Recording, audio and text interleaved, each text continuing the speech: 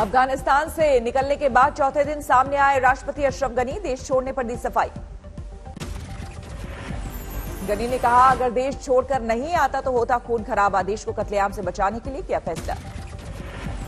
Dubai से अशरफ गनी ने जारी किया वीडियो संदेश, यूएई ने दी है शरण। यूएई ने औपचारिक बयान में मानी गनी को शरण देने के बाद कहा, मानवीय आधार पर देश में दी जगह। वीडियो संदेश में अशरफ गनी ने कैश लेकर भागने की बात से किया इनकार, कहा कोरी अफवाह। गनी के मुताबिक तालिबान को शांतिपूर्ण तरीके से सत्ता सौंपने के लिए चल रही थी बात, इसके बावजूद जबरन कब्जा किया। काबुल एयरपोर्ट पर अभी भी अफरा तफरी का माहौल, तालिबान की दहशत से देश छोड़कर भागना चाहते हैं अफगानी नागरिक। छोटे छोटे बच्चों के साथ एयरपोर्ट के बाहर डटे हैं सैकड़ों परिवार, अमेरिकी सैनिकों से मांग रहे मदद। अफगान में फंसे भारतीयों को सुरक्षित निकालने के लिए केंद्र सरकार ने कसी कमर। कल भी हुई सीसीएस की बैठक। भारतीयों को अफ़गानिस्तान से निकालने के लिए काबुल एयरपोर्ट से ग्रीन सिग्नल मिलने का इंतज़ार। एयरफोर्स और कमर्शियल विमानों के ज़रिए अंजाम दिया जाएगा ऑपरेशन। तजिकिस्तान में अफ़गानिस्तान के दूतावास से अशरफ गनी की तस्वीर हटाकर लगाई गई। अमरुल्ला सालेह की तस्वीर। अमरुल्ला ने खुद को घोषित किया है राष्ट्रपति।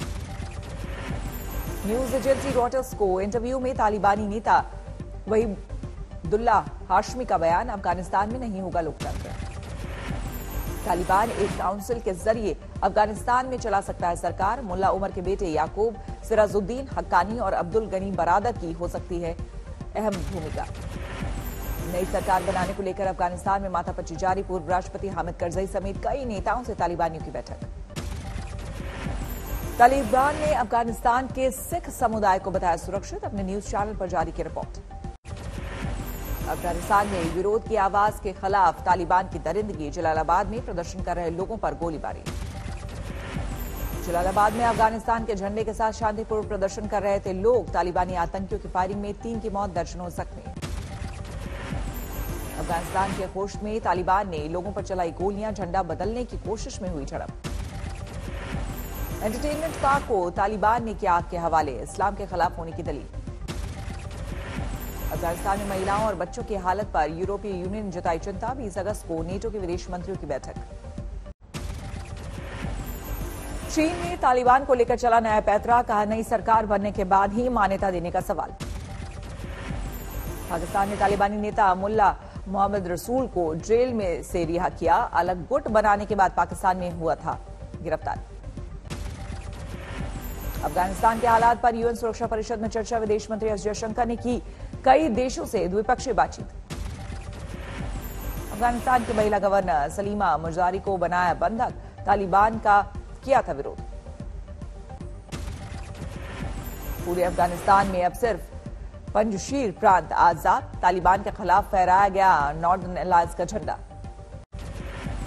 तालिबानी कब्जे को जायज़ ठहराने पर बुरे फंसे संबल से समाजवादी पार्टी के सांसद डॉक्टर शफीकुर रहमान बर्क देशद्रोह का केस दर्ज। विवाद बढ़ने पर बयान से पलटे समाजवादी सांसद बीजेपी ने की माफीनामे की मांग। शफीकुर रहमान को लेकर बैकफुट पर आई समाजवादी पार्टी, कहा बयान से नहीं कोई लेना देना। मुस्लिम पर्सनल लॉ बोर्ड के सदस्य मौलाना सज्जाद नोमानी भी हुए तालिबान के मुरीद। अफ़गानिस्तान पर कब्जे की दी बधाई। नोमानी के बयान के बाद बैकफुट पर मुस्लिम पर्सनल लॉ बोर्ड का सदस्य के निजी विचार। साउथ चाइना सी में भारत और वियतनाम के साझा नौसैनिक अभ्यास चीन को सीधा संदेश देने की कोशिश। जैसलमेर में पाकिस्तान सीमा से सटे गाँवों को बीएसएफ ने ड्रोन के खतरे से किया आगाह। ग्रामीणों से की तुरंत जानकारी देने की अपील। पाकिस्तान हाईकमीशन के बाहर बीजेपी कार्यकर्ताओं का प्रदर्शन लाहौर में। राणा रंजीत सिंह की मूर्ति तोड़ने का विरोध। तालिबान के कब्जे के बाद अफगान सेनाओं ने से छीने गए हथियार। लग सकते हैं जम्मू कश्मीर में सक्रिय आतंकी संगठनों के हाथ खुफिया एजेंसियों ने किया अलर्ट। पंजाब कांग्रेस अध्यक्ष नवजोत सिंह सिद्धू ने के बयान पर मचा घमासान। कश्मीर को बताया अलग मुल्क। उत्तर प्रदेश में एटीएस की पाँच नई यूनिट खोलने का फैसला। देवबंद से होगी शुरुआत। यूपी विधानसभा सत्र के दौरान मेल में पहुँचे समाजवादी और कांग्रेस विधायक, महँगाई को लेकर योगी सरकार के खिलाफ हल्ला बोल यूपी चुनाव में बीएसपी किसी पार्टी से नहीं करेगी गठबंधन, वाराणसी के सम्मेलन में सतीश चंद मिश्रा का बयान। समाजवादी पार्टी नेता केशव देव ने डिप्टी सीएम केशव प्रसाद मौर्य को बताया कठपुतली, यूपी में अखिलेश की सरकार बनने का किया दावा। 2022 के लिए बीजेपी का बूथ विजय अभियान 23 अगस्त को जेपी नड्डा करेंगे लॉन्च। विश्व भारती यूनिवर्सिटी के कार्यक्रम में केंद्रीय मंत्री सुभाष सरकार का विवादित बयान, कहा रविन्द्रनाथ टैगोर का रंग भाई बहनों की तुलना में गहरा था, इसलिए माँ गोद में नहीं बिठाती थी। कोलकाता में बीजेपी के प्रदेश अध्यक्ष दिलीप घोष की कार रोकने की कोशिश के दौरान हंगामा, टीएमसी कार्यकर्ताओं पर आरोप। पश्चिम बंगाल के वर्तमान में टीएमसी के दो गुटों में झड़प, दो लोग घायल, एक की हालत गंभीर। कर्नाटक के यादगीर में केंद्रीय मंत्री भगवंत खूबा के स्वागत के दौरान हंगामा। बीजेपी कार्यकर्ताओं ने की हवाई फायरिंग। खरगोन में जन आशीर्वाद यात्रा के दौरान ज्योतिरादित्य सिंधिया का कांग्रेस पर हमला। संसद में लोकतंत्र का गला घोटने का आरोप। आरजेडी में अंदरूनी कला बेपर्दा। अपने करीबी छात्र नेता को पद से हटाने से प्रदेश अध्यक्ष पर भड़के तेजप्रताप पार्टी में अंदरूनी गुटबाजी को लेकर तेजस्वी ने प्रदेश अध्यक्ष जगदानंद का किया समर्थन, का संगठन मज़बूत करने के लिए लिया फैसला। पाम ऑयल के आयात को घटाने के लिए मोदी सरकार का बड़ा फैसला। घरेलू किसानों के लिए ग्यारह हज़ार करोड़ के फंड का ऐलान। पाम ऑयल पर सरकार के फैसले का योग गुरु रामदेव ने किया समर्थन, कहा किसानों को होगा फ़ायदा।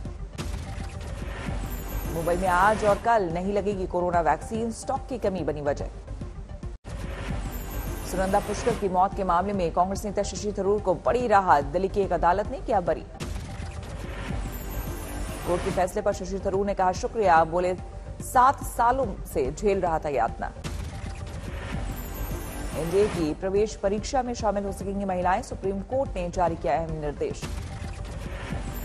बढ़ सकती है अनिल देशमुख की मुश्किलें, लगातार पांचवी बार ईडी के सामने पेश नहीं हुए महाराष्ट्र के पूर्व गृह मंत्री। सुप्रीम कोर्ट ने खारिज की महाराष्ट्र सरकार की याचिका, अनिल देशमुख के खिलाफ सीबीआई जाँच रोकने की थी मांग। हिसार में किसानों ने बिजली घर पर लगाया ताला, गाँव वालों ने सड़क पर घंटों लगाया रखा जाल उधम सिंह नगर में किसानों का विरोध, प्रदर्शन, बीजेपी की जन आशीर्वाद यात्रा को लेकर नाराज़गी। टोक्यो से मेडल लेकर पहली बार अपने गाँव पहुँचे रवि दाहिया, लोगों ने किया जोरदार स्वागत। सोनीपत के गाँव में रवि दाहिया के सम्मान में समारोह का आयोजन, सीएम मनोहर लाल खट्टर ने लिया हिस्सा।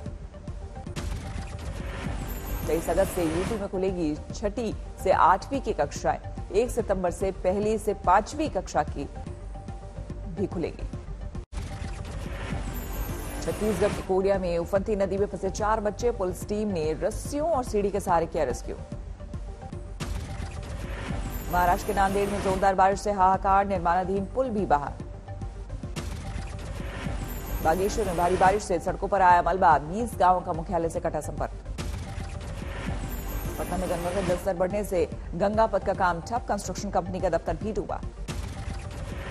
लखीसराय में बाढ़ से हालात बिगड़े, प्रभावितों की मदद के लिए एनडीआरएफ की टीम पहुँची। नीतीश कुमार ने कटिहार और पूर्णिया के बाढ़ प्रभावित क्षेत्रों का किया हवाई सर्वे, राहत कैंपों का भी किया निरीक्षण। बाढ़ से बेहाल हुआ वैशाली का राघोपुर, लोग घरों में अटके पानी में डूब गए खेत खलियान। मोतिहारी सामने सरकारी लापरवाही की तस्वीर, बाँध टूटने से अब भी जलमग्न है दर्जनों गाँव। खगड़े में बाढ़ से मुक्ति के लिए महिलाओं ने की गंगा मैया की पूजा। लोकगीतों के ज़रिए रूठी गंगा को मनाने की कोशिश। मुंगेर में अभी खतरे के निशान से ऊपर है। गंगा का स्तर चौतीस से ज़्यादा पंचायतों पर बाढ़ का असर। गोरखपुर में बड़ा राप्ती नदी का जलस्तर। जिला मुख्यालय से कटा कई गाँवों का संपर्क। हमीरपुर में बाढ़ पीड़ितों से मिलने पहुँची साध्वी निरंजन ज्योति। लोगों को बांटी राहत सामग्री। दिल्ली एनसीआर को गर्मी और उमस से आज मिल सकती है राहत। मौसम विभाग ने जताया तीन दिनों तक बारिश का अनुमान। हिमाचल प्रदेश के कुल्लू में मनाया गया प्राचीन सावन उत्सव, पारंपरिक लोक नृत्य और कलाओं का प्रदर्शन। चमोली में पर्यटकों को लुभा रही है फूलों की घाटी, सौ से ज़्यादा किस्म के फूलों की खेती। भोपाल में धरने पर बैठे चयनित शिक्षकों को पुलिस ने जबरन हटाया, कोरोना गाइडलाइंस के उल्लंघन का दिया हवाला। दो साल से की नियुक्ति को लेकर विरोध कर रहे थे शिक्षक, बीजेपी दफ्तर के सामने दिया था धरना। औरंगाबाद के एमआईएम सांसद इम्तियाज़ जलील समेत 25 लोगों के खिलाफ केस दर्ज, कोरोना गाइडलाइंस तोड़कर धरना देने का मामला।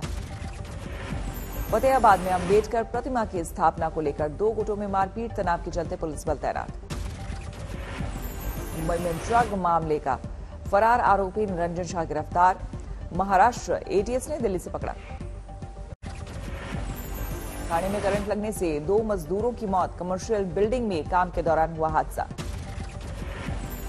कानपुर देहात में दिल्ली हावड़ा रेल लाइन की बिजली सप्लाई केबल टूटी। छह घंटे तक ट्रेन यातायात रुका वाराणसी में चलती कार में लगी आग। बाल बाल बच्चे कार सवार। श्रीगंगानगर में फाइनेंसर की प्रताड़ना से तंग आकर। कारोबारी ने की खुदकुशी। विरोध में मंडी बंद। शिवपुरी में लूट की कोशिश में बदमाशों ने एटीएम में किया धमाका। मौके पर पहुँची पुलिस ने बरामद किया छह लाख से ज़्यादा कैश। ब्रिटेनवाडा में जहरीली शराब पीने से तीन लोगों की मौत, अलीगढ़ से ली थी शराब। बाड़मेर में देवर ने भाभी के साथ की रेप की कोशिश, महिला के विरोध करने पर चाकू से किया वार। गाजियाबाद में कारोबारी की गोली मारकर हत्या, हमलावरों ने दुकान में घुसकर की फायरिंग। देवरिया में दबंगों ने दुकानदारों से की मारपीट। बीच बचाव करने आई बहन पर भी किया हमला। मेरठ में मंदिर के अंदर फंदे से लटकी मिली युवती की लाश। परिजनों की पुलिस को जानकारी दिए बगैर कर दिया अंतिम संस्कार। भीलवाड़ा कोर्ट परिसर में रंगे हाथ पकड़े गए बाइक चोर। भीड़ ने जमकर पीटा। अमृतसर में बोरी पार्टी में हुए झगड़े में चली गोली। दो युवकों की मौत, पाँच गिरफ़्तार। कोलकाता में पुलिस की गिरफ्त में आया, झपटमार करीब दो किलोमीटर पीछा करके पकड़ा। रामपुर में नर्स के साथ रेप की वारदात, डॉक्टर के खिलाफ एफआईआर दर्ज। बंडाला में शादीशुदा महिला के घर में हत्या, शक के घेरे में आया पति, फरार। मानवाधिकार को लेकर चीनी मीडिया ने एक बार फिर अमेरिका पर साधा निशाना कहा, महामारी ने हटा दिया मुखौटा। कोरोना की बढ़ती रफ्तार के बाद जापान में बढ़ाई गई इमरजेंसी इकतीस अगस्त के बजाय 12 सितंबर तक जारी रहेगी सख्ती। अमेरिका में लगातार जारी है कोरोना का कहर वैक्सीन लेने के बाद भी संक्रमित हुए टेक्सास के गवर्नर ग्रेग अबॉट न्यूजीलैंड के ऑकलैंड में कोरोना का एक मरीज़ मिलने से हड़कम सरकार ने तीन दिनों के लॉकडाउन का किया ऐलान। कनाडा में वैक्सीन, पासपोर्ट के खिलाफ प्रदर्शन, क्यूबेक की सड़कों पर हाथों में पोस्टर बैनर लेकर उतरे लोग।